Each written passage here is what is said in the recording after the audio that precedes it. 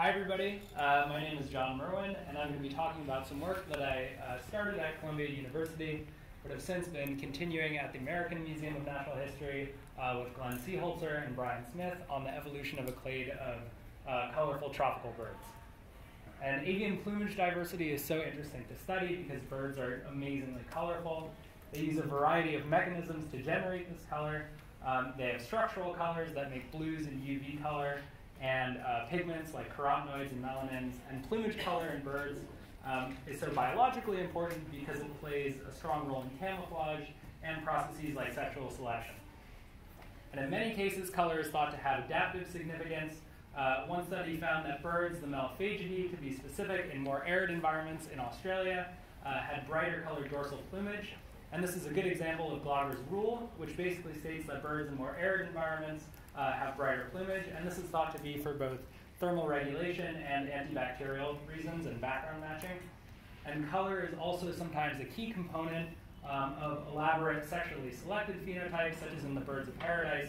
And these are just a couple of examples of the highly elaborate colors uh, of birds of paradise, which are integral to their complicated courtship displays. And this elaborate color diversification is driven uh, by females selecting specifically for these elaborate phenotypes. And we wanted to understand how these kinds of processes intersect in the lories and the lorikeets. They're collectively referred to as the Triflurinae. They're a really colorful clade. They have deep blues and bright yellows and greens, uh, purples and UV coloration.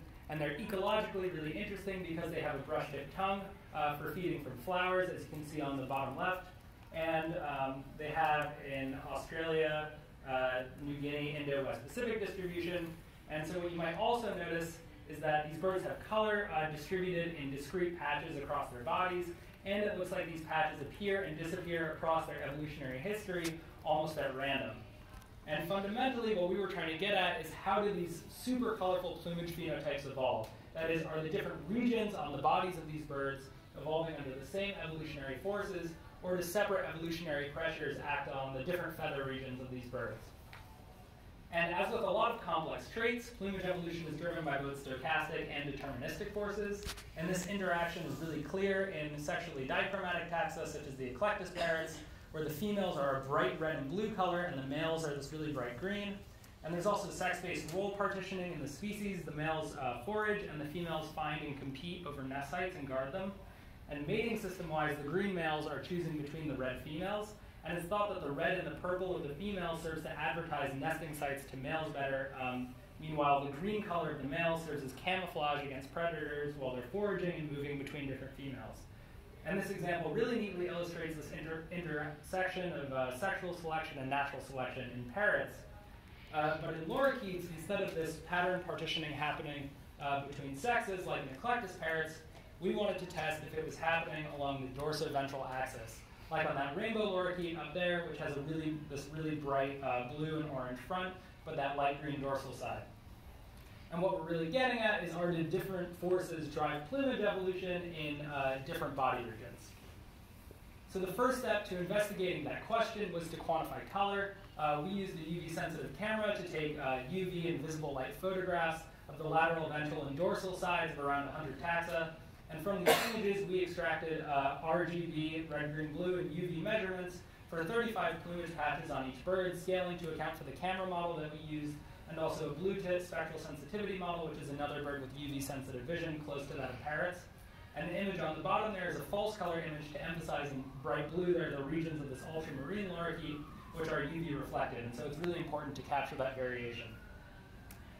And here's a diagram basically showing the full workflow for one bird. There's 35 patches, which we sampled, and then how they map onto a patch map, which is basically a digital cartoon of the bird that we drew uh, so we can visualize their data. And then using that outline as a shapefile, we can fill in each patch using the red, green, blue values that we extracted. And then we can get these representations that you can see on the bottom uh, right there uh, to visually tell how closely our data represents the actual color of the full bird.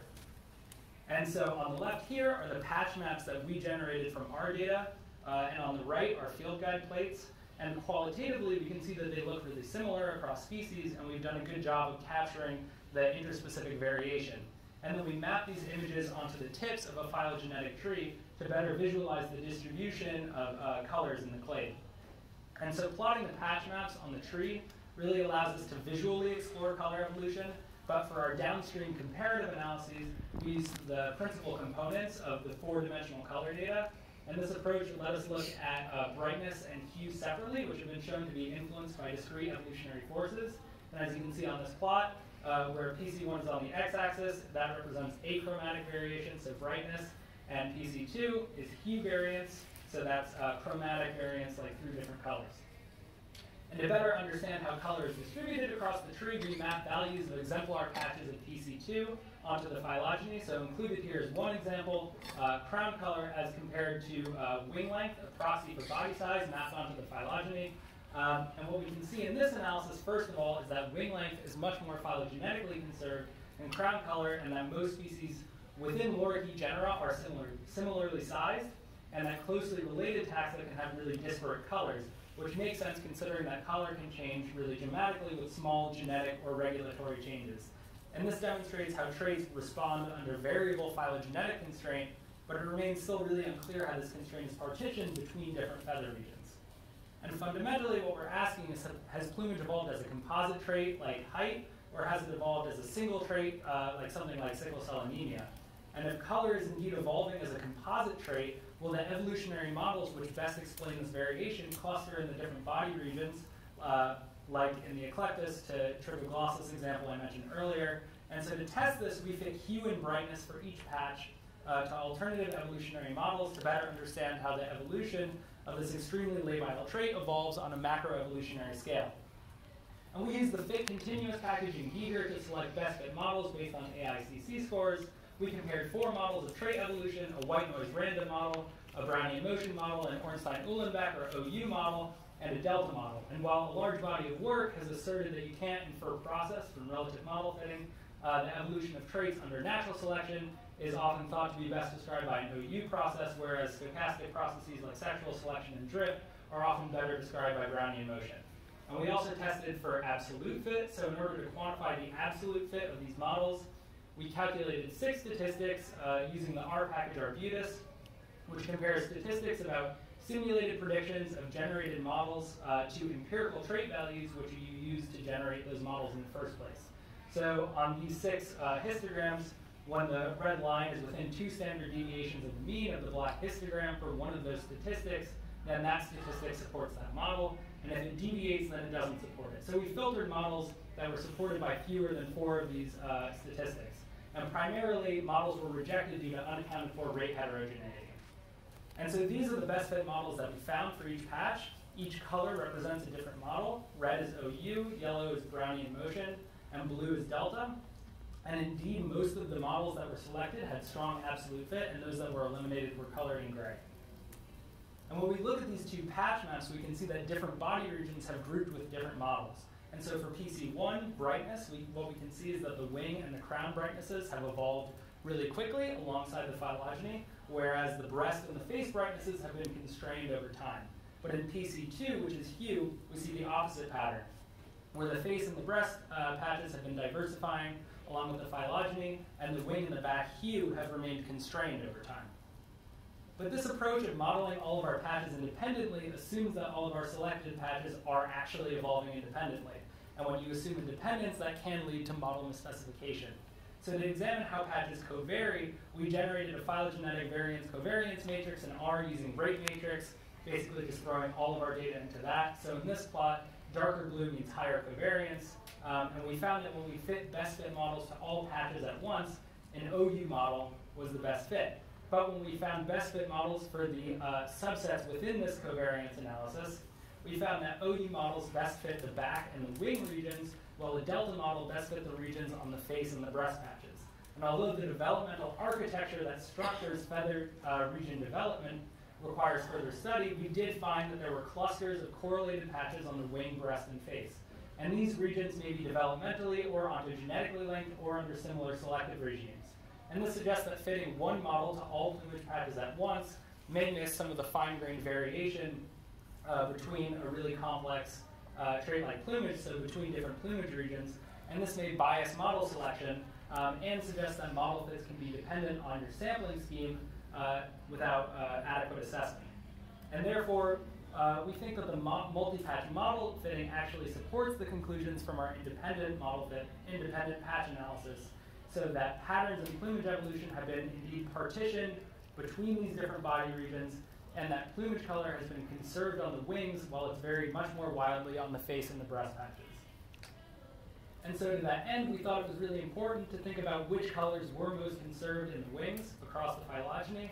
And this animation is cycling through the colors of two genera, Trichoglossus and Lorius. So as you can see, although the hue of the faces, chests, and abdomens of these birds um, are changing really wildly, the wings are mostly remaining green, but the brightness of that green is shifting.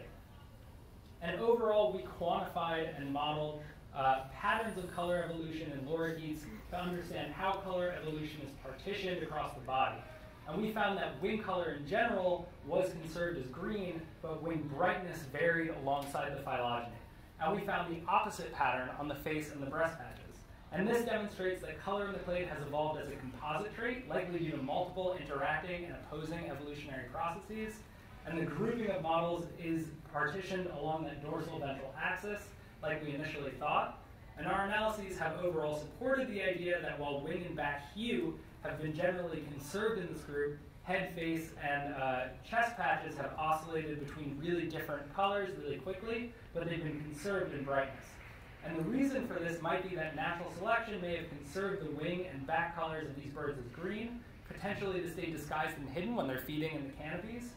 And we know that these birds are preyed upon by raptors, uh, and so camouflage from the dorsal side or counter shading may be particularly useful. But the faces and the chest have varied, likely either in response to drift, sexual selection, or some kind of social selection. Thank you very much, and I'm happy to take any questions.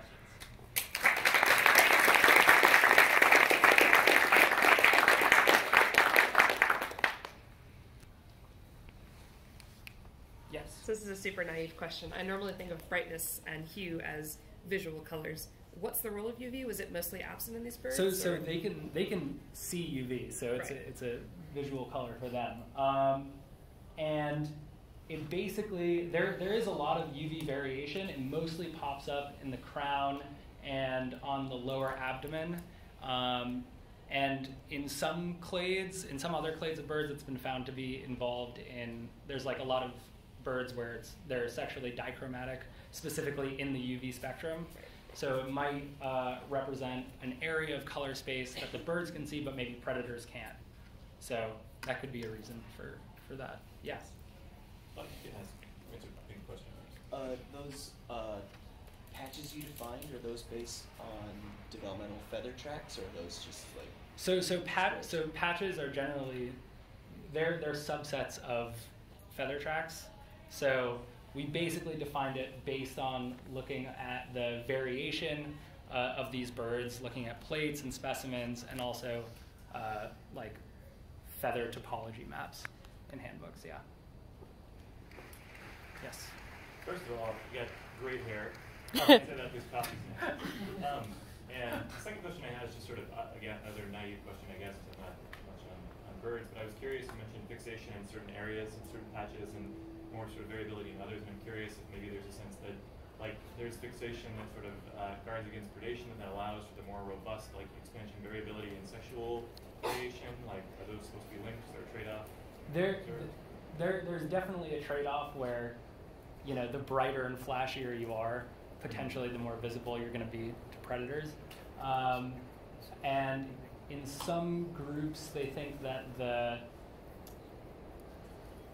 that uh, specifically that counter shading is what allows that diversification. Mm-hmm. And there, although most of these birds are sexually monochromatic, so the males and the females look really similar, yeah. uh, there's one small group where there is dichromatism, and that dichromatism is clustered in the face patches and the crown patches mm-hmm. and the abdominal patches.